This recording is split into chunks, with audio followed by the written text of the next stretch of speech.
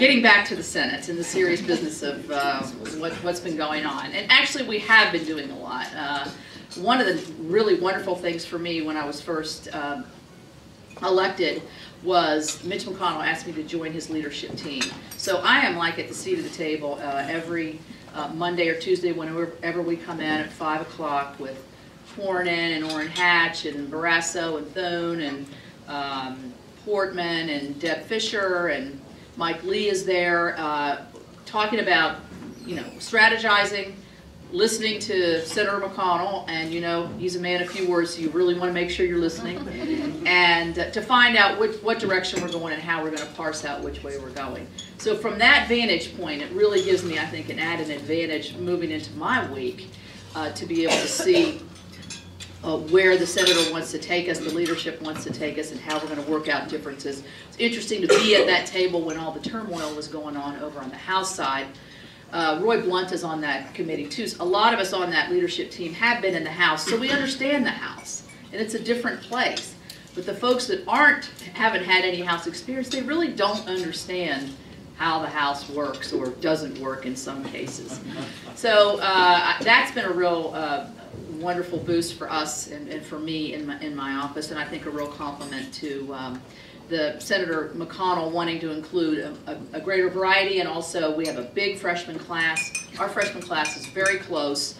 We are going to be meeting here, I think, later this morning. We meet every two weeks. We've got a whole variety of great people there, and uh, we really don't have any outliers in our freshman. You know, there's always one where you're like, hope I don't have to sit next to him. But uh, we don't have that in this freshman class. We have some really great, great people, and, and we get along really well. So I'm, I'm pleased about that.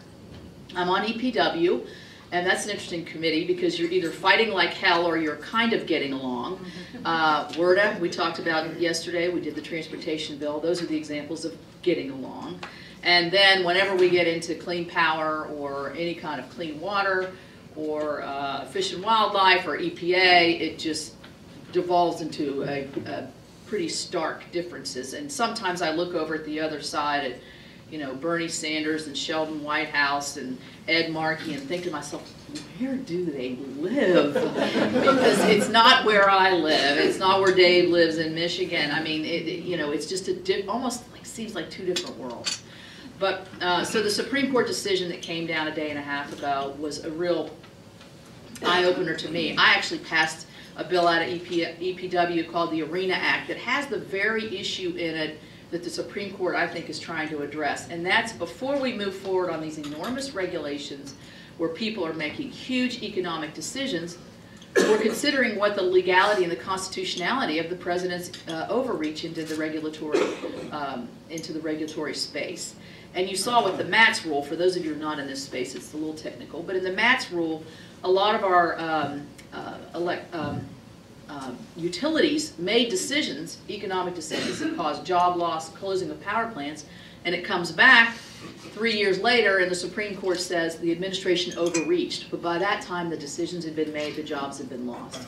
So hopefully this will help with this clean power plan. It's going to be interesting to see what the president does with his international agreement how he's going to, you know, rationalize this to the rest of the world, well, I really don't have a plan now because my Supreme Court's basically saying I could possibly be in uh, unconstitutional grounds. So we're going to watch that. We did pass the Congressional Review Act, which the president did veto, which turned back this rule.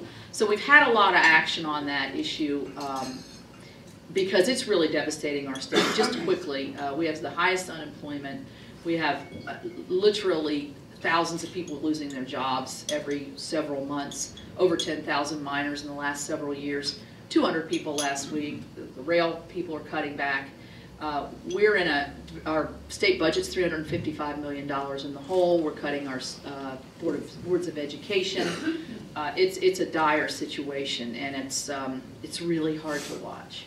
I mean, you watch the, the automobile industry do the same thing. It is really hard to watch. And I think we can do it a better way, and that's what I've been fighting for, and I'm really well placed in my positions. I'm going to Alaska on um, Sunday for the first time for a field hearing Senator Murkowski. We're going to go out to a, uh, drilling platform. We're going to go to a remote village. We're going to have the Secretary of the Energy with us to see some alternative energy.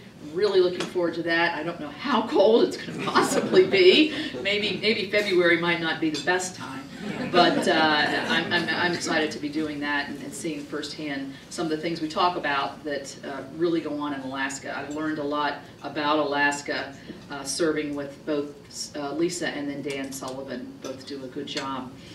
Uh, last year, we did do a lot of, I think, really good things. When we got the doc fix done, which is something that's plagued us for ever since I've been in, and uh, we, we were able to reach some kind of budget resolution, not to everybody's liking, but at least it lets, as you've heard, lets the steam out. Uh, we passed a transportation bill, which for five years, which is a, a long-term achievement that I think um, is going to have great impact on all our states. We um, we did the Iran thing. We, we did the South Korean or North Korean sanctions just yesterday. I think it was unanimous. So we are moving along, uh, and I think we've been able to overcome some of the dysfunction that occurred uh, over the last several years. So I, am pleased to see that. The contrast of, you know, the big joke in the House is, did the Senate ever do anything? I mean, they're sitting around in their wheelchairs and oxygen tanks and all those kinds of things. Yes, yes, the Senate does work, and I find it just incredibly honorable. I'll give you a little trivia. I got a report from CRS on women in, in the House and the Senate. Uh, and one of the trivia issues that I've discovered is that there have only been three Republican women who have ever served in both the House and the Senate. So let's see who can get that. Olympia. Olympia. Mm-hmm. You. Me? No? Yes, whoever said that. Margaret Chase Smith. She served in the 40s in the House and then for a very, very long time in the Senate.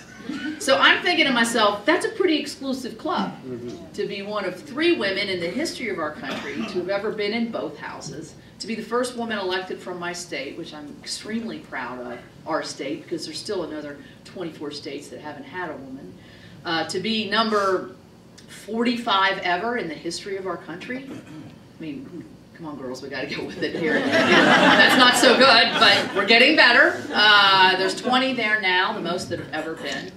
And we do have these dinners where the women all get together, and, and we have we get along, I think, relatively pretty well on most, except when Barbara Boxer's calling me a hack in committee. That kind of got me. After I'd had dinner with her the night before, I'm like, whoa, what's that? But um, I took it and uh, so anyway, uh, I like it, and I've also used this analogy a couple times, and then I'll open up for questions because I know we're getting getting close. I like in going from the House to the Senate in this way. It's like going from junior high to high school. Because in junior high, you don't want to go to high school because you've got all your friends, you know how to get around the building, you know the teachers, you it's just so great in junior high you're just so comfortable by the time you get to the you know eighth or ninth grade whatever junior high is here in middle school. And you look over high school it's so intimidating and, you, and they're older and they're oh i'm never going to know where i'm going. And then the first day you get in high school you turn around and look at your junior high and you go see ya. That's what it's like to be in the united states senate. Um, and uh, i am terrifically grateful to the staff members that are here today. And Jim, I, I, like the fact that you recognized them because they work very hard, as you know, and uh, we have difficult circumstances sometimes, and sometimes I'm probably not the easiest person to work for, maybe, and uh, like I'll go dark and they're like, where is she? I don't know where she is. um, I'm actually staring at my phone going, I'm not going to answer this. no, no, I'd never do that. uh, anyway, um, thank you all for what you do for uh, all your respective interests and uh, companies. I've seen many of you in different um, forms, both politically and through the uh, legislative process. Uh, so thank you all very much, and I'll be happy to answer any questions. Thank you.